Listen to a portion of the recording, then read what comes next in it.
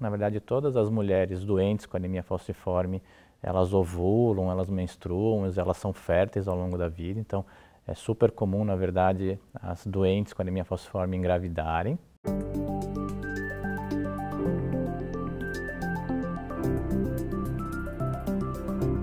A anemia falciforme é uma doença genética, né, hereditária. Ela é transmitida de pais para filhos.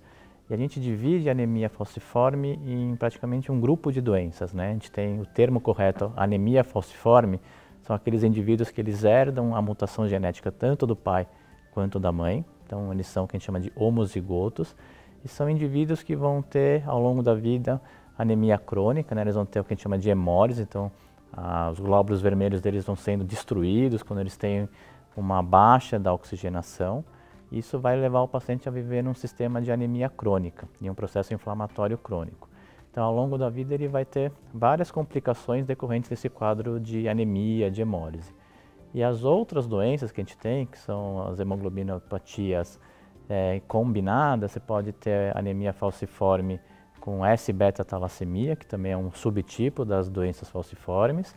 Você pode ter outras hemoglobinopatias, como a doença S, da anemia falciforme com hemoglobinopatia C, e a grande maioria dos pacientes, que na verdade não são doentes, são aqueles portadores, que são as pessoas que são traço falciforme, que eles herdam uma mutação ou do pai ou da mãe. Então esses indivíduos eles não são doentes, mas eles podem transmitir para os filhos a doença. Na verdade, todas as mulheres doentes com anemia falciforme, elas ovulam, elas menstruam, elas são férteis ao longo da vida. Então, é super comum, na verdade, as doentes com anemia falciforme engravidarem. O que pode acontecer, elas por conta da anemia crônica, elas terem um pouco mais de dificuldade de engravidar do que as mulheres normais, tá? mas teoricamente elas não têm nenhuma complicação. Inclusive, a gente sempre orienta as mulheres com doença falciforme, a gente faz o aconselhamento genético, porque se ela casar né, com um pai, né, um marido, tiver o gene da mutação, ela vai ter entre 50% e 75% de chance de ter uma criança com a doença falciforme também. E durante a gestação,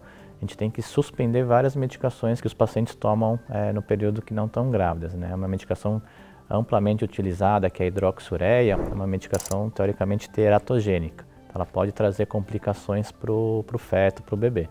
Então, a gente tem que suspender essas medicações e na gestação a mãe fica praticamente sem nenhuma medicação que controla as complicações da doença. Em relação à transfusão, não é obrigatório, né? gente, né, não é porque a paciente está grávida que ela precisa tomar transfusão, mas a gente sempre tem que manter a hemoglobina dessa paciente acima de 7, de preferência entre 7 e 8.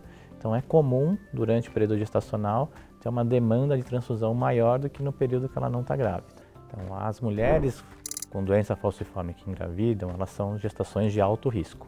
Né? Durante a gestação, aumenta muito o risco de abortamento, de trombose, é, de infecções. Então, elas já têm que ser acompanhadas com um grupo de obstetrícia de, que a gente chama de obstetrícia de alto risco. Pós-parto, a gente tem sempre uma complicação no puerpério, né? isso é comum para todas as mulheres. Então, elas têm que, durante o período do puerpério, também serem acompanhadas mais de perto, né?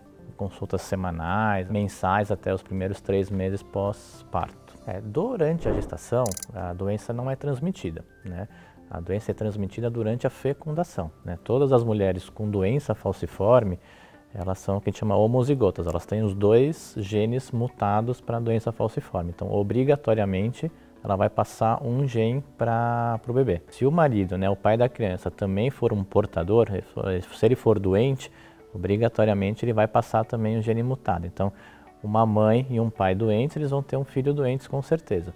Se a mãe for doente e o pai for traço, né, ele for portador, esse risco é entre 50% e 75% de chance. É, durante a gestação, essa condição clínica já foi determinada na fecundação, então você não tem risco de transmissão. Tá? E a gestação ela é acompanhada com obstetra normal, de preferência num centro especializado, com consultas mensais quando vai chegando mais perto da época do parto, as consultas têm que ter um intervalo menor, né, de preferência semanais ou a cada 15 dias, para a gente monitorando anemia ou algumas outras complicações. A condição doença falciforme ela não determina a indicação do parto, né? a indicação é obstétrica. Né? Então, o obstetra que está acompanhando aquela paciente, ele vai determinar ali a condição se vai ser um parto é, cesárea ou um parto vaginal. Tá? Na prática, a gente acaba vendo que a maioria dos pacientes acabam indo para um parto cesárea porque as pacientes ficam com anemia, tem um risco de sangramento, então a gente consegue organizar e planejar um parto cesárea de uma forma mais adequada. Quando a criança nasce, né, quando, se ela nascer doente com a doença falciforme, hoje em dia é obrigatório em todo o território nacional no teste do pezinho, na triagem neonatal, a gente faz a pesquisa para a pesquisa da doença falciforme, né? no teste do pezinho, o que é feito, na verdade, não é a pesquisa da mutação, a gente pesquisa a presença ou não da hemácia falcizada.